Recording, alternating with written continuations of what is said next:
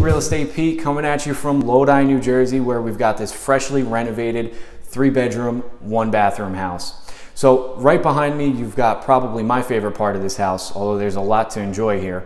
But you've got the granite countertops, you've got the stainless steel appliances, all white cabinets. This house couldn't be more in style right now. Uh, and then right over my left shoulder, we have the dining room. So once you're finished cooking up a storm in the kitchen with all this counter space you got, it's a nice short walk into the dining room where I'm sure your family and friends will be waiting to eat. So I hope you enjoy the rest of this tour and I'll talk to you soon.